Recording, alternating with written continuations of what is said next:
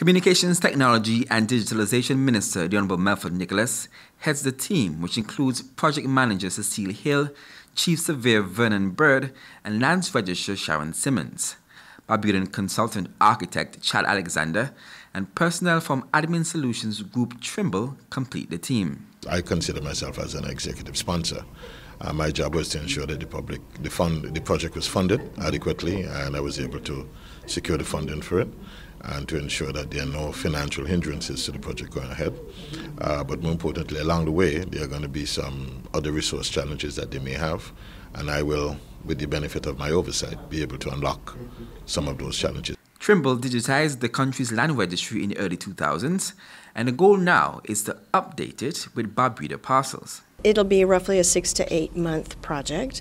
We've got um, some surveying work we're going to be doing, some mapping updates that we're doing for Barbuda. We are scanning and indexing existing land records and incorporating those into the system. Um, We've got new satellite imagery coming for both Antigua and Barbuda, and um, lots of training, um, new IT equipment, etc. So, quite a few components. Hill, who's the current High Court registrar, worked with the team when lands in Antigua were digitized.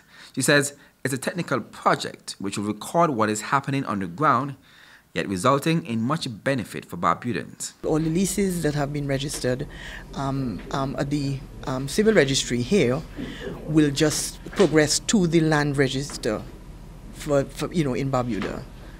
So those will be migrated onto, and then all the new pieces that have been um, allocated will just be added. So persons will be able to actually get a title, which is very important. Um, previously, Barbudans did not have a title in their hand for the piece of land that they owned. So they will now be able to do that, and that means they'll be able to access financing and everything else like that. The chief surveyor says the Sister Isle will be subdivided, similar to Antigua. In Barbuda, um, our objective is to have at least nine registration sections.